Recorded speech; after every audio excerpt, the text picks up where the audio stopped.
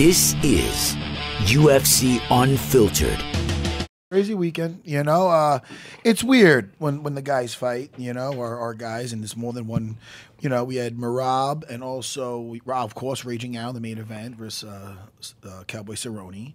And uh, like Merab, uh, first of all, I don't know what you guys want to. We could talk. We about, can start with Merab, who was Yeah. so dominating. Let's start about yeah. Let's do it like it went in, in order here. So, uh, for my night, you know, we had Merab first. You know, Yeah. the machine. And and by the way, that is his nickname now. You saw that was up there. It's on cool, the- yeah. And what a fitting, what a fitting nickname. He's like a like if the Terminator was just shorter and Georgian, it would be uh, Merab. I love Merab, man. He's such a the, the energy this kid brings to just everything. He seems to be enjoying himself even when Oh, he first man. walks in. Let's talk about uh, Brad Katona. He was fighting. Uh, you know, undefeated, man. That's right. Undefeated. Dangerous guy.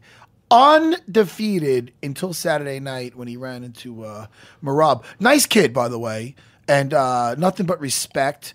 Res- and and he's a game fighter. But I'm so so so happy for Merab.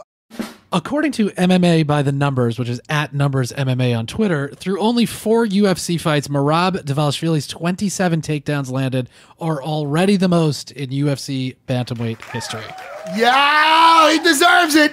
Yes, he yes, does. Merab. Ferocious, the machine, Merab.